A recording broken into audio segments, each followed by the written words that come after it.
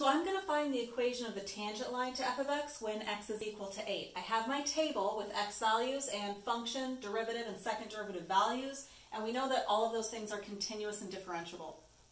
So if I want the equation of the tangent line, there are two things that I need. I need a point and I need the slope. The point comes from the original function, and the slope is going to come from the function's derivative.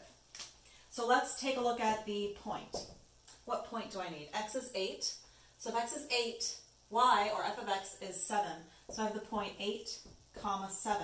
And then I also need the slope. And the slope comes from the derivative value at x is 8. So I want to know f prime of 8. So let's find x is 8 and go to f prime, and that's negative 4. That's going to be the slope. I'm going to use point slope form.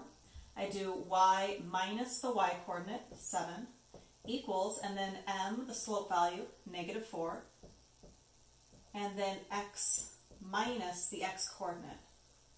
And right here, this is our equation of the tangent line. That's also known as the local linearization. So there are different ways that it could be asked. The tangent line or the local linearization.